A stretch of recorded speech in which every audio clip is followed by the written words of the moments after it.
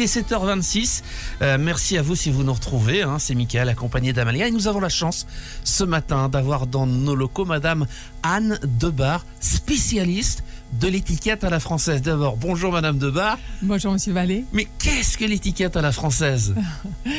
Tout d'abord, il faut peut-être différencier l'étiquette de l'étiquette à la française, puisque l'étiquette n'est rien d'autre que les codes de bonne manière qui, selon les pays, s'adaptent et, et, interfèrent en fait sur les, sur les différents pays, les différentes cultures. Donc l'étiquette à la française sont les codes de bonne manière à la française les codes de bonne manière à la française. Alors, vous êtes déjà venu une fois ici au mois de janvier, si mes souvenirs sont bons, un petit peu même avant le mois de janvier. Oui. Euh, la différence entre les bonnes manières à la française et les bonnes manières à la libanaise?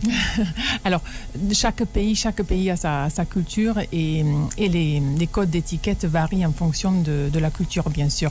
Donc, euh, qu'est-ce qu'on entend par l'étiquette à la française? Il faut remonter un petit peu dans l'histoire et savoir que l'étiquette a trouvé toute son ampleur euh, au XVIIe et XVIIIe siècle. Et c'est à cette époque-là que toutes les cours européennes ont copié le modèle français il suffit de regarder l'évolution de la, cuisine, de, l'art, tout l'art culinaire, l'art floral. Les différentes cours européennes nous ont copié. Et puis aujourd'hui, le, le, modèle du savoir-vivre est toujours resté un modèle universel, copié par beaucoup et réadapté ou adapté en fonction des cultures euh, et des usages locaux euh, dans les différents pays. Alors vous, vous êtes ici pour euh, donner des, cours, des, séminaires. Comment ça se passe en gros, séminaires Alors, il faut différencier les séminaires pour enfants et les séminaires pour adultes. Mmh. Euh, pour les adultes, euh, le public est très varié puisque nous avons euh, des étudiants, des hommes et des femmes d'affaires, des personnes intéressées par la culture française en général. Et ces personnes viennent soit pour trouver réponse, des réponses techniques à des questions bien précises, ou alors pour se sentir plus à l'aise lors de, de réceptions ou d'invitations officielles. Et les, le public d'enfants, eux, ne sont plus confiés par les parents pour apprendre les règles de bienséance et, et pouvoir mieux mieux avancer dans, dans, tout ce qui est éducatif. C'est difficile euh, d'enseigner les bonnes manières plus à des enfants ou à des adultes? C'est beaucoup plus facile de les enseigner aux enfants parce que les enfants s'amusent énormément lors des séminaires. Ils sont projetés dans un monde d'adultes qu'ils s'accaparent très rapidement puisqu'ils se voient comme grand, comme papa ou comme maman et ils veulent le refaire comme les grandes personnes. Donc ils sont plus dans, la notion du jeu et ils s'amusent beaucoup.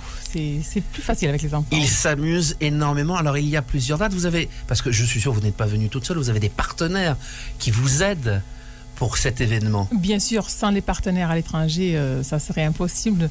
Et d'ailleurs, je remercie mes partenaires d'être aussi actifs dans, le même combat que je mène, c'est-à-dire celui de promouvoir l'excellence et la culture française. Ici au Liban, mes partenaires, c'est avant tout Château Marianne qui organise euh, ces différents séminaires.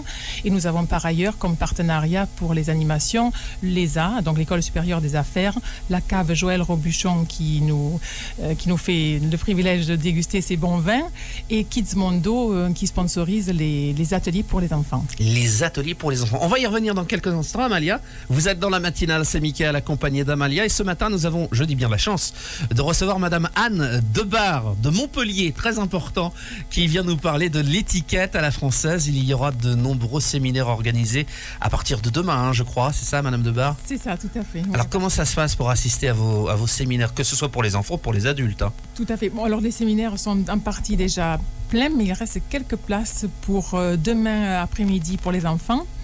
Idem pour le 1er mars. Et ensuite, pour les adultes, encore quelques places pour le 25 et le 28 en français et le 27 en anglais. Ah oui, parce que ça se fait dans les deux langues. Deux langues, tout à fait. Donc, si vous on est intéressé, voilà, comment si fait-on Vous êtes intéressé, vous vous adressez euh, soit par téléphone à Monsieur Hervé Piglovski oui. en composant le 71 73 69 61 ou alors en envoyant un mail tout simplement à châteaumarianne.fr. Alors on va répéter, je vais répéter le numéro de téléphone, donc le 71 73 69 61 71 73 69 61 vous allez directement sur le site www.châteaumarianne.fr euh, à propos de ces formations qu'est-ce qu'on apprend dedans?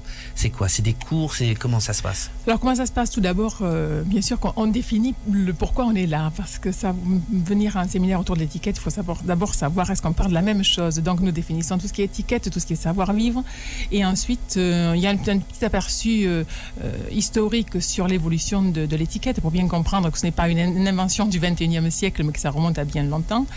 Et puis après, les points qui sont abordés sont des points beaucoup plus techniques, comme tout ce qui est réception, présentation, placement, la table, la mise de table, la tenue à table, les dress codes. Nous abordons également le, euh, tout ce qui est analyse sensorielle autour du vin, puisque le vin est un élément essentiel autour de la table Mmh. et s'accompagne aussi de certains codes d'étiquette. Voilà, donc euh, je laisse quelques surprises pour ceux qui sont intéressés de Mais justement, vous devez être vous très très surprise parce que c'est vrai que si vous avez fait un dîner à la libanaise, il y a des plats partout sur la table. C'est fabuleux. C'est fabuleux. fabuleux, Comment oui. ça se passe? C'est ça que je disais tout à l'heure, la différence de l'étiquette, c'est ça. Là, j'ai jamais, j'adore la table à la libanaise puisqu'on on voit même plus la nappe. Donc, il y a des plats de partout qui sont très parfumés, délicieux. Donc, pour moi, c'est de l'exotisme, c'est un dépaysement. De la même façon que ça peut être un dé- dépaysement pour euh, un Libanais ou, ou un étranger qui vient en France et qui découvre pour la première fois une table épurée avec euh, des codes assez stricts parfois à respecter, notamment quand il s'agit de repas protocolaires. De repas protocolaires. eh bien, écoutez, on va, on va se quitter hein, sur, euh, sur ça. On va rappeler une nouvelle fois le, le numéro pour ceux qui sont intéressés. hein. Je rappelle que c'est le 71 73 69 61. Alors, ça commence euh, le 24, c'est aujourd'hui, 25, 27, 28 février. Et pour les enfants, il y a des sessions, ce qu'on appelle pour les petits diplomates, les, euh, aussi le 1er mars 2014. C'est ça. Autre chose à rajouter, Madame Debar? Vous avez... Écoutez, merci pour votre accueil très chaleureux au Liban. Et puis, euh, je suis ravie de, de recevoir pour cette deuxième édition des, des Libanais et beaucoup d'étrangers aussi qui vivent au Liban. Donc, euh, merci. Merci, votre Madame. Debar. À très très bientôt. À très bientôt. Au revoir.